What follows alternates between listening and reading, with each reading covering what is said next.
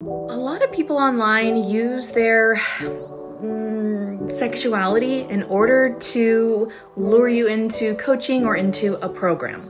Now, I am all for people who want to do sex work. I am all for people who want to be sexy, but it is a real creepy line that's crossed when people want to use that as part of their marketing and that goes for men women theys anybody online. Everyone is prone to to that. And let me show you. Mm, hey loves. I've just been thinking of you and i wanted to pop on and um, make sure that you know about this course coming up because i don't want you to miss out on it.